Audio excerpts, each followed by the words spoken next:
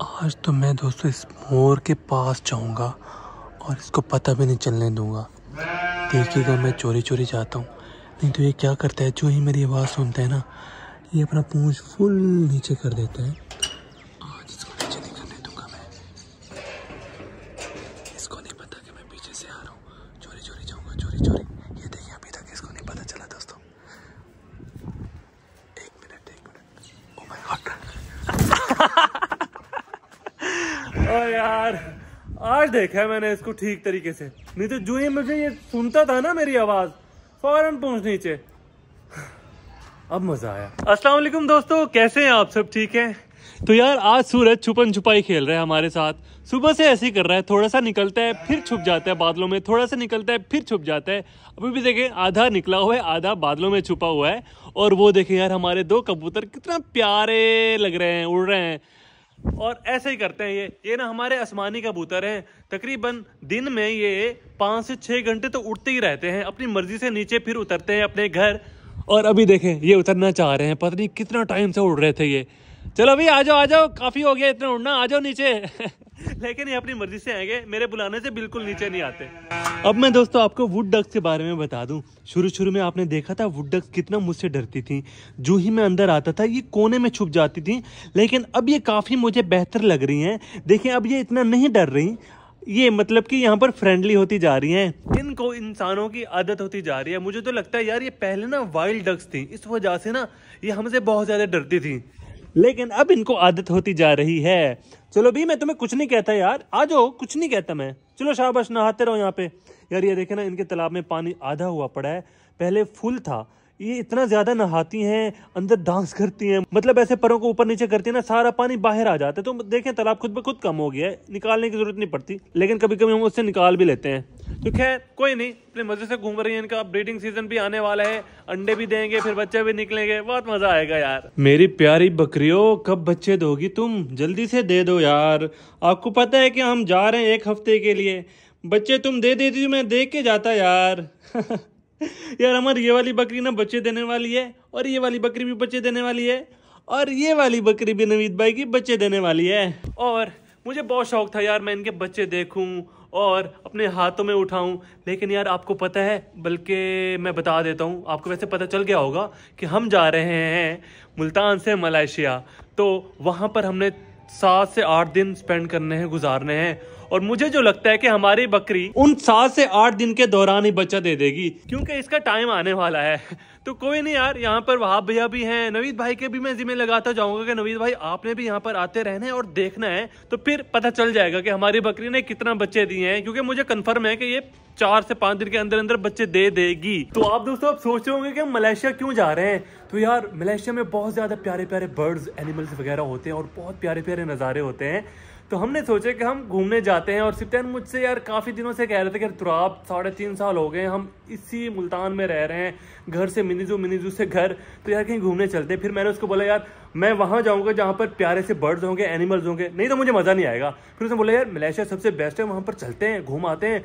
हम घूम भी लेंगे और बर्ड्स, एनिमल्स भी देख लेंगे, मज़ा भी बहुत ज़्यादा आएगा। तो फिर हमारा प्लान बन गया कि हम चलते हैं और वहाँ पर हम यार प्यारे प्यारे से बर्ड्स देखेंगे, एनिमल्स देखेंगे और बहुत प्यारे प्यारे नज़ारे होंगे तो मज़ा आने वाला है बहुत ज़्यादा यार। आप भी इंजॉय करेंगे और हम भी इंजॉय करेंगे। आगे के दिनों में यार बिल्कुल माहौल चेंज होने वाला है। वहाँ पर यार मैंने सुना है कि स्कूबा डाइविंग भी होती है मतलब कि हम पानी में जाएँगे और उधर मछलियों को लाइव देखेंगे, पानी के अंदर, समंदर के अंदर दोस्तों। तो सिपैन ने जब ये मुझे बताया तो मैंने बोला, यार, मैं तो चलता हूँ, मैं तो देखूँगा। तो इसलिए हमारा फिर ये सीन बन गया। इधर देखें दोस्तों, हमारी रैबिट्स ना, ये मुर्गियों की फ़ीड बहुत शौक से खाती हैं। ये देख रहे हैं, ये वाली फ़ीड जो अंडों वाली फ़ीड होती है ना, ये हमारे सारे रैबिट्स बकरियाँ, मुर्गियाँ बहुत शौक से खाती हैं। मैं हैरान होता हूँ यार रैबिट्स को कैसे पसंद आ सकती है? लेकिन फिर भी शायद अच्छा टेस्ट होता होगा, इस वजह से खा लेती होंगी। देखें कितना शौक से खा रही हैं।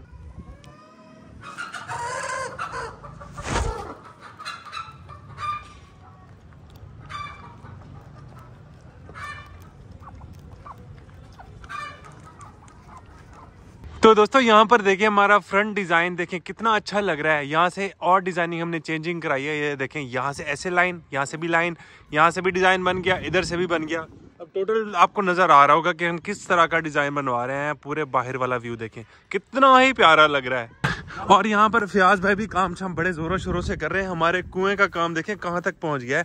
फ्याज भाई, कितना ऊँचा आएगा? आपके सर तक आ जाएगा? अच्छा आपसे फिर तो आप डूब जाओगे अगर गिर गए तो अंदर? हम तो नहीं निकालेंगे खुद निकलना। तो यार आप देख सकते हैं हमारा कुआँ कितना जल्दी जल्दी बन रहा है। बस दो से तीन दिन के अंदर फ्याज भाई इसको बना के दे देंगे मुझे तो लगता है। और हम तो जा रहे हैं फ्याज भाई कल। फिर आपने फिर संभाल लेना सारा ये काम शाम रुकने नहीं चाहिए। हम वापस आए तो पूरा मीनू तैयार होना चाहिए। है ना? बाकी यार मैं भाइयों को ना इसका भी बता दूँगा कि किस तरह डिज़ाइन बना के छोड़ना है। इसको कल तो हम चले जाएँगे ना तो कल से जो है ना भाई कि सारा मैं आपको सम, उनको समझा दूँगा भी किस तरह डिज़ाइनिंग करनी है एक चीज़ समझा के जाना पड़ेगा। फिर ये ना हो कि हम वापस आए और हमें वो चीज़ पसंद है। तो सब कुछ अरेंज करके मतलब प्रॉपरली फैसला करके फिर जाके इनको डिज़ाइन देंगे फिर बना के ये चले जाएँगे फिर हमारा काम सारा हो जाएगा जब तक हम भी आ जाएँगे। तो वहाँ पर देखिए यार, हमारे सारे के सारे बर्ड्स ना नीचे आए हुए हैं और अपना खाना खा रहे हैं। यहाँ पर रेबिट्स खाना खा रहे हैं और मास्टर केज के तकरीबन आधे से ज़्यादा बर्ड्स ना यहाँ पर नीचे आके खाना खा रहे हैं। और ये डर भी नहीं रहे आज यार। वैसे बहुत ज़्यादा डरते थे। हम बाहर ना ऐसे आराम से देख सकते हैं इनको खाना खाते हुए। वहाँ पर खरगोश खाना खा रहे हैं, उधर कबूतर पानी पी रहे हैं और यहाँ पर हमारे सारे के सारे परिंदे खाना खा रहे हैं। काफ़ी ज़्यादा यहाँ पर ऊपर बैठे लगता है, इन्होंने खाना खा लिया है। ये रह गए थे, ये खा रहे हैं।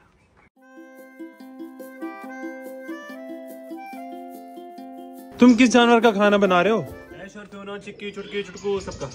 ये छोटे जानवरों का है जो नीचे है हमारे अच्छा। में और ये सिर्फ़ गोश्त चिकन हम देंगे ऐश और क्यों को क्योंकि आजकल ऐश और क्यों बहुत ज़्यादा नखरों में है। अच्छा। वो चावल बिल्कुल नहीं खा रहे सिर्फ़ चिकन ही बॉयल खाते हैं भाई। ओ भाई साहब। क्या ये जिम कर रहे हैं क्या? इनको चिकन की ज़्यादा ज़रूरत है? पता नहीं भाई लेकिन चिकन ही खाते हैं आजकल ये। चलो भाई मर्ज़ी है भाई उनकी जो वो दिल करे उनको वही खिलाओ। तभी यार मैं कबूतरों के बच्चे भी देख लेता हूँ बिल्कुल ठीक है कि नहीं? ये देख यार ये वो दो छोटे से बच्चे थे। दो दिन के अंदर देखिए कितना मोटे मोटे हो गए यार अच्छी बात है। अभी आँखें नहीं खोदी इन्होंने। और इधर भी थे शायद? नहीं यहाँ नहीं थे।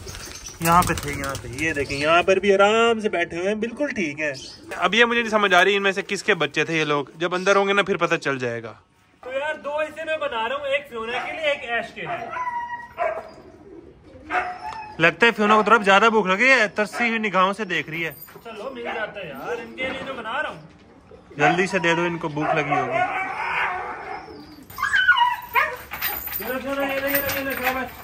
हाँ जी ये खाओ।